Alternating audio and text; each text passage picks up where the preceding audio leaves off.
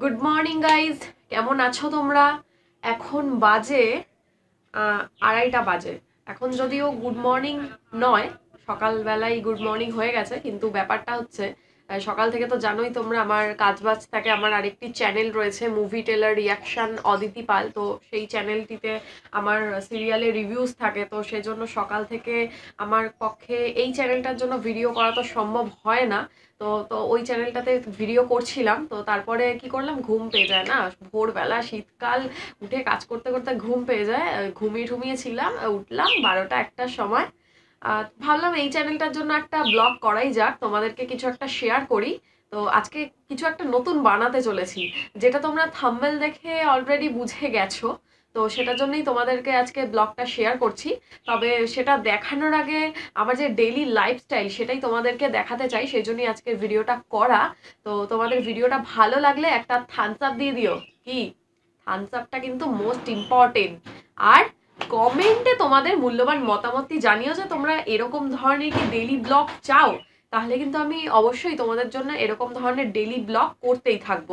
আর একটা ব্যাপার যেটা এই চ্যানেলে এখনও পর্যন্ত যারা নতুন আছো, তারা সাবস্ক্রাইব করে নিও। আর পাশে থাকা ঘন্টাটা বাজিয়ে দিও। যাতে তোমরা সমস্ত রকম ভিডিওর নোটিফিকেশন সবার আগে পেয়ে যাও। তো চলো, দেখে নিই আজকের ব্লগটা তো গাইজ ফাইনালি সকাল থেকে উঠে তো কিছু কাজকর্ম ছিল, সেই সমস্ত করে নিয়েছি। তারপর একটু বিছানাপত্র গুছিয়ে ঠুছিয়ে নেওয়া হয়ে গেছে। বুঝতেই পারছ, শীতকাল তো কম্বলের বাহার, লম্বা লম্বা সাজিয়ে তুলতে হয়। শীতকাল কম্বল ছাড়া তো ঘুম হবে না। আর তো তোমাদের শীতকালটা কেমন কাটছে? তোমরা তো অলরেডি পঁচিশ তারিখের ব্লগটা আমার দেখে নিয়েছো ক্রিসমাস আমি কীভাবে সেলিব্রেট করলাম। আর ফাইনালি ফার্স্ট জানুয়ারিটাও কিন্তু কামিং সুন সেলিব্রেট করতে চলেছি। এবার সেই সেলিব্রেটটা কীভাবে হবে সেটা জানবার জন্য কি করতে হবে? আর সেটা জানবার জন্য তো দেখতে হবে, তবে তোমরা কি চাও? সেটাও কিন্তু আমার জানাটা খুব জরুরি। তাহলেই না আমি সেরকমভাবে স্পেশালি কিছু করব, কিছু বানাবো, সেটা তো তোমাদেরকে বলতে হবে। তো তোমরা আমাকে জানিও কমেন্টে যে তোমরা কি চাও। আর অলরেডি সেটা কিন্তু খুব তাড়াতাড়ি আসছে ফার্স্ট জানুয়ারির দিনকেই আসবে সেই ব্লগটা। আর তোমরা কারা কারা কীভাবে কাটাতে যাচ্ছ ফার্স্ট জানুয়ারিতে কোথাও কোথাও ঘুরতে যাচ্ছ, জানি এইবার তো সেই আগের বারের মতো ব্যাপারগুলো একটু কমই থাকবে। তবুও ফার্স্ট জানুয়ারি বলে কথা, কিছু না কিছু তো হবেই, তাই না? তো একটু তো দেখাতেই হবে কি কোথায় কি যাচ্ছ, তোমাকে তো কমেন্টে জানাতে হবে। হ্যাঁ এবার আমি কোথাও যাচ্ছি না, প্রত্যেক বছর আমি মোটামুটি কোথাও না কোথাও যাই। এবার আমি কোথাও যাচ্ছি না, আমি বাড়িতেই কাটাবো। তবে একটা পিকনিকের প্ল্যান আছে যদি পিকনিকটা হয় তাহলে তো ভালোই হবে। তাহলে পরে তোমাদেরকে পিকনিকটা আমি এক্সপ্লোর করে দেখাবো যে কেমন মজা করছি, কি না করছি, সবটাই দেখাবো। ব্যাপারটা হচ্ছে দেখা যাক হয় কি না। তো গাইজ এখন খুলে নিয়েছি ল্যাপটপ আর এই ল্যাপটপটা রিভিউ তো তোমরা আগেই দেখেছ যে এটা কিসের ল্যাপটপ এর প্রাইস কীরকম ল্যাপটপটা কীরকম। সত্যি ল্যাপটপটা কিন্তু দারুণ। এবং যারা যারা এইচপির কিনতে চাও, তারা চোখ বন্ধ করে কিনে নাও। দারুণ ল্যাপটপ এইচপির কোনো কথা হবে না সেটার জন্য। তো কিনে তো নাও। আর এখন এই মুহূর্তে আমি যেটা করছি জানোই, আমার যে মুভি টেলার রিয়াকশনের যে অদিতি পালের যে চ্যানেলটা ওটার আর কি একটা ভিডিও এডিটিং করছি। তো এডিটিং প্রসেসটা শেষ করে নিই। এডিটিংটা চলছে আপাতত। আর সেটা করতে করতেই তোমাদের সামনে ব্লগটা নিয়ে চলে এসেছি আমি। এডিটিং প্রসেসটা শেষ করি। তারপরে তোমাদেরকে দেখাবো আমি আজকে চিকেন পকোড়া। অনেক দিন ধরে চিকেন পকোড়া খাওয়া হয় না, তো ভাবলাম আজকে একবার চিকেন পকোড়া ট্রাই করা যাক। দুপুরবেলা সেরকমভাবে ঝোল, মাছ, টাছ কিছু খেতেও ইচ্ছে করছে না আজকে। আজকে ভাবছিলাম একটু ডাল হবে প্লেন গরম গরম ভাত হবে, আর তার সাথে পেঁয়াজ, কাঁচা লঙ্কা, আর জমিয়ে চিকেন পকোড়া। তো তার জন্যই আজকে বানাবো হয়েছি। তো চলো তোমাদেরকে আমি কাজটা শেষ করে নিয়ে একবারে ডাইরেক্ট দেখাচ্ছি চিকেন পকোড়াটা আমি কীভাবে বানাচ্ছি। চলো দেখে নেওয়া যাক।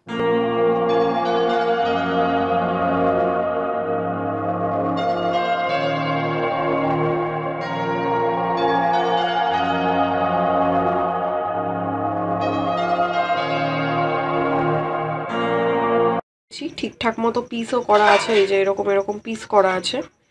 এর মধ্যে লেবু রস দিয়ে দেবো।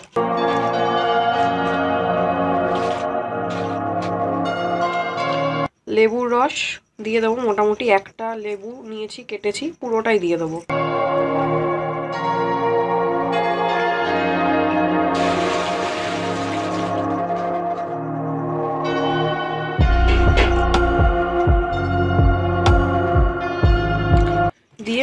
ম্যারিনেশন করে কিছুক্ষণ রেখে দেবো। এটা মোটামুটি তিরিশ মিনিটের মতো ম্যারিনেশনটা হয়ে গেছে মানে রেখে দিয়েছিলাম, লেবুর রস মাখিয়ে। এবার এর মধ্যে আমি কি কি ইনগ্রিডিয়েন্টস দেবো সেটা দেখাচ্ছি। এখানে পেঁয়াজ কুচিয়ে রেখেছিলাম। পেঁয়াজ কুচিটা এর মধ্যে ছড়িয়ে দিয়ে দেবো।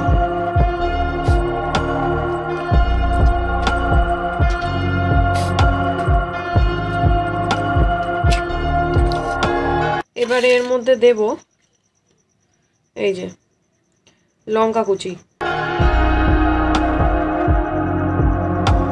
এর মধ্যে দেব রসুন কুচি।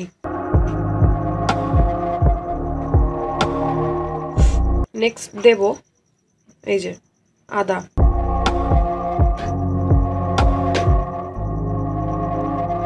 লঙ্কার গুঁড়ো দিয়ে দেবো। হলুদ গুঁড়ো দিয়ে দেব। এর মধ্যে আমি একটু লাল লঙ্কার গুঁড়ো দিয়ে দেবো। দাও দাও, লাল লঙ্কার গুঁড়োটা। তাহলে কি হবে? কালারটা একটু রেড রেড হবে পকোড়ার কালারটা। এর মধ্যে দিতে হবে নুন, দিতে হবে। এর মধ্যে এবার আমি নুনটা যেরকমটা বললাম, নুন দেব। নুনটা দিয়ে দিই। এর মধ্যে পড়বে এবার একটু রিফাইন্ড অয়েল দিয়ে দাও রিফাইন্ড অয়েলটা এর মধ্যে আমি একটু গরম মশলা দিয়ে দেবো।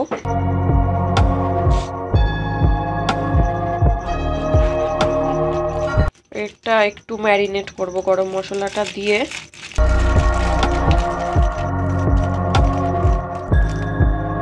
একটু ম্যারিনেট করে নেব।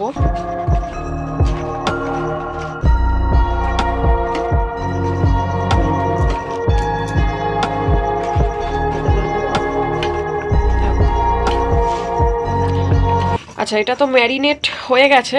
এবার দেখো, জিনিসটা কিন্তু বড়ার মানে একটা পাকোড়া যে হবে, সেরকম কিন্তু আটা আটা হয়নি। তার জন্য আমাকে এর মধ্যে চালের গুঁড়ো ইউজ করতে হবে। যারা কর্নফ্লাওয়ার ইউজ করতে চাও, তারা করতে পারো। বেসন যারা ইউজ করতে চাও, সেটাও করতে পারো। যে যেরকম ইচ্ছা করতে পারো। ম্যারিনেশনটা কিন্তু পুরো কমপ্লিট আমি পুরো চালের গুঁড়ো টুড়ো দিয়ে ম্যারিনেট করে নিয়েছি।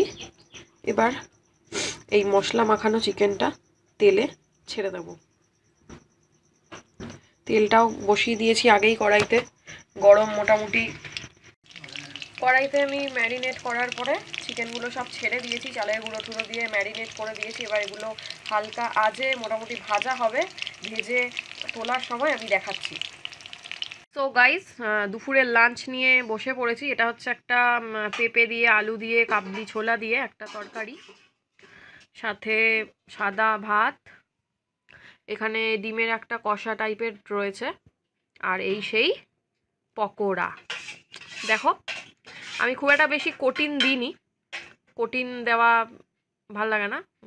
দেখো, কত সুন্দর নরম, তুলতুলে ব্যাপারটা। হাত দিচ্ছি মেল্ট হয়ে যাচ্ছে। তোমাদেরকে খেয়ে দেখাচ্ছি জিনিসটা কেমন খেতে।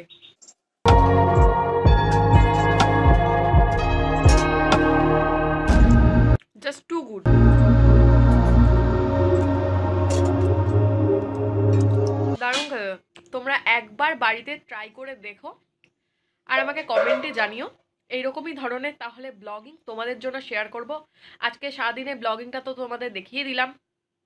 এখন আমি খাওয়াটা শেষ করি, আর বসে থাকতে পারছি না জাস্ট চিকেন পকোড়াটা দিয়ে খাব বলে কথা। চলো, আজকে ভিডিওটা এখানে শেষ করছি। যারা এই চ্যানেলটিতে এখনও পর্যন্ত নতুন আছো, তারা সাবস্ক্রাইব করে নিও, পাশে থাকা ঘন্টাটা বাজিয়ে দিও। আর ভিডিওটা যাদের ভালো লাগবে, একটা থামস আপ দিয়ে দিও। চলো বাই